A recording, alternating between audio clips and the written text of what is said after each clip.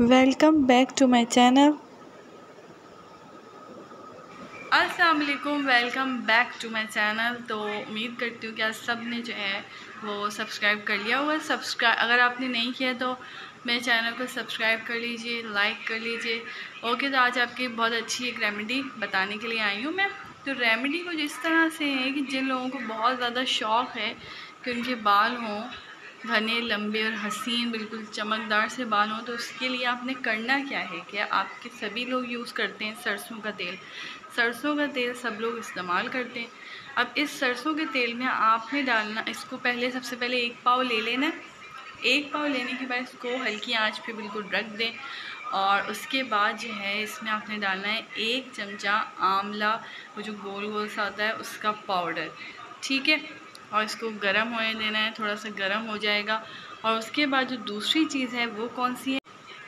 जी तो फिर वो मतलब थोड़ी देर गर्म होता रहेगा, उसमें आंवला का पाउडर आपने एक चमचा डाल देना है, एक चमचा आपने डालना है ये मेहंदी, देसी मेहंदी, उसका एक चमचा डालना है। और उसके बाद जो है, तीसरी चीज़ आपने डालनी है इसमें में, ओके जी तो फिर आपने उसमें डालना है एक चमचा कसूरी मेहंदी का तो सात दिन तक आपने ये जो है तेल बनाया हुआ, ये यूज़ करना है।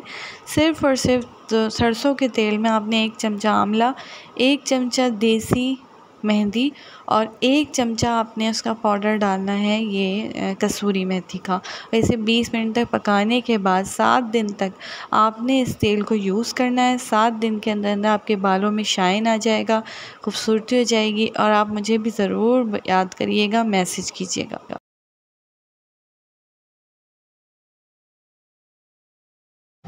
ओके जी तो ये है फाइनली इसका लुक इस तरह से ये नज़र आएगा। ऑयल और बिल्कुल प्रिपेयर है। इसका कलर थोड़ा चेंज हो जाएगा डार्क में हो जाएगा। लेकिन सिर्फ़ आपने इसको सात दिन तक इस्तेमाल करना है। सात दिन के बाद आप अपने बालों को चेक करिएगा कि बहुत चेंजेस आ जाएगी, चमक आ जाएगी शाइन आ जाएगी और लंबे हो, होना स्टार्ट हो जाएँगे। और वो जो रूखे और बेजान से जो नज़र आते हैं वो सब बिल्कुल ख़त्म हो जाएगा, बल्कि एक रौनक सी आ जाएगी और बढ़ना भी शुरू हो जाएँगे, बाल गिरना बिल्कुल ख़त्म हो जाएँगे। तो एक बहुत बेहतरीन रेमेडी है। इसमें मैंने जिस तरह से आपको बताया है, आपने सेम उसी तरह से करना है। तीन चीज़ें सिर्फ़ इंक्लूड है इसमें। आंवला पाउडर एक टीस्पून देसी मेहंदी एक टीस्पून और तीसरी चीज़ है मेथी। तो वो जो है आपने इसका इसमें डाल के सरसों के तेल में गरम कर लेना है। कसूरी मेथी का एक पाउडर का चमचा और इसके बाद इसको गरम करके और जो एक और आपको मैं टिप दूँगी